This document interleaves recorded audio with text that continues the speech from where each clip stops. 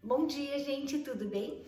Descobri uma frase maravilhosa de Richard Blender. Ele diz o seguinte: Todas as informações mais recentes de que dispomos indicam que o cérebro tem muito mais flexibilidade e capacidade de adaptação do que pensávamos antes. Até breve.